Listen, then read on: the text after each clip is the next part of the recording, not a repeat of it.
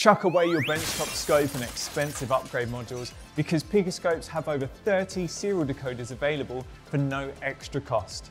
Simply launch Picoscope 7, probe a serial protocol bus such as this I2C bus, and get it set up on the screen so you can see the full stream of data. Click on the serial decoding tool, select your protocol from the catalogue of decoders, select the data channel and the clock channel, or depending on the decoder, the TX and RX channels, or CAN high or CAN low channels, and then double check any other options before pressing next. In this dialog, you want to select how your data is displayed, both in the main graph area and the table that will appear below. Click Finish and your decoded data will be displayed over your signal and also in the table at the bottom that you can click and navigate to different captures with. Picoscope 7 comes with a growing catalogue of over 30 serial decoders such as I2C, CAN, SM Bus, Manchester and even DCC for the Hornby train sets.